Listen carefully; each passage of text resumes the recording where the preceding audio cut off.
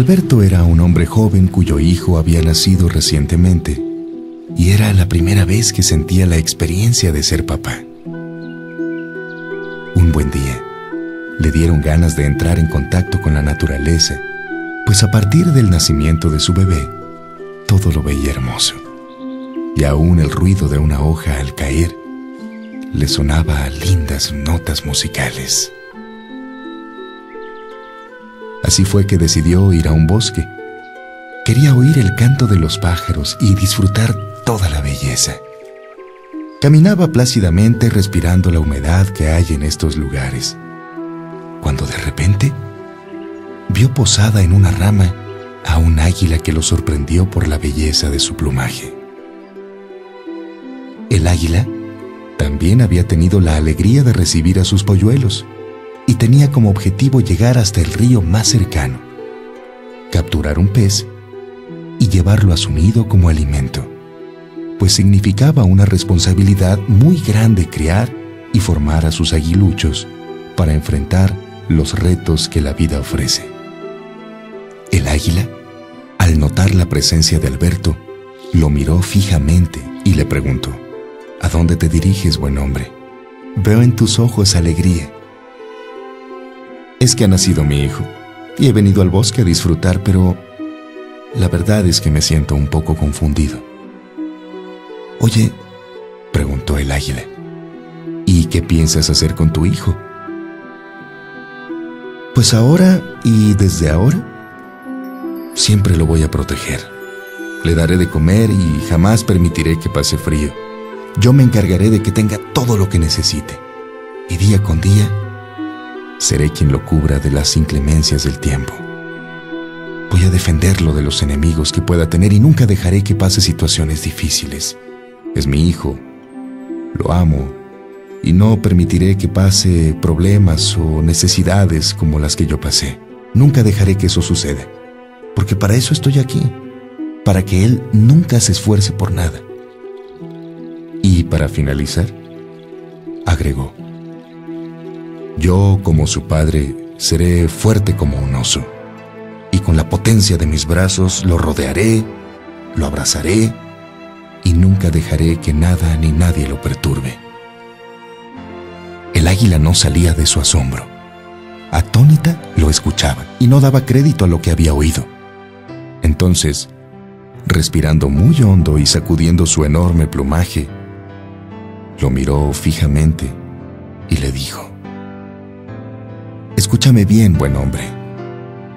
Cuando recibí el mandato de la naturaleza para empollar a mis hijos, también recibí el mandato de construir mi nido, un nido confortable, seguro, a buen resguardo de los depredadores, pero también le he puesto ramas con muchas espinas. ¿Y sabes por qué? porque aun cuando estas espinas están cubiertas por plumas, algún día, cuando mis polluelos hayan emplumado y sean fuertes para volar, haré desprender todo ese confort, y ellos ya no podrán habitar sobre las espinas. Eso les obligará a construir su propio nido. Todo el valle será para ellos, siempre y cuando realicen su propio esfuerzo para conquistarlo con todo sus montañas, sus ríos llenos de peces y praderas llenas de conejos. Si yo los abrazara como un oso, reprimiría sus aspiraciones y deseos de ser ellos mismos. Destruiría irremediablemente su individualidad y haría de ellos individuos indolentes, sin ánimo de luchar ni alegría para vivir. Tarde o temprano, lloraría mi error pues ver a mis aguiluchos convertidos en ridículos representantes de su especie me llenaría de remordimiento y gran vergüenza, pues tendría que cosechar la impertinencia de mis actos, viendo a mi descendencia imposibilitada para tener sus propios triunfos, fracasos y errores, porque yo quise resolver todos sus problemas. Yo, amigo mío, dijo el águila, podría jurarte que después de Dios he de amar a mis hijos por sobre todas las cosas. Pero también he de prometer que nunca seré su cómplice en la superficialidad de su inmadurez. He de entender su juventud, pero no voy a participar de sus excesos, Me he de esmerar en conocer sus cualidades, pero también sus defectos, y nunca permitiré que abusen de mí en aras de este amor que les profeso. El águila cayó, y Alberto no supo qué decir, pues seguía confundido y mientras entraba en una profunda reflexión, ésta, con gran majestuosidad, levantó el vuelo y se perdió en el horizonte. Alberto empezó a caminar mientras miraba fijamente el follaje seco disperso en el suelo. Solo pensaba en lo equivocado que estaba y el terrible error que iba a cometer al darle a su hijo como el de un oso. Reconfortado, siguió caminando.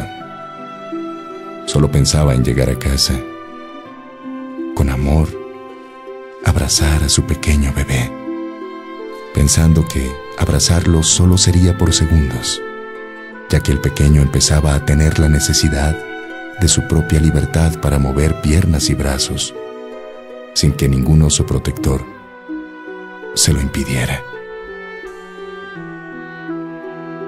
A partir de ese día, Alberto empezó a prepararse para ser el mejor de los padres.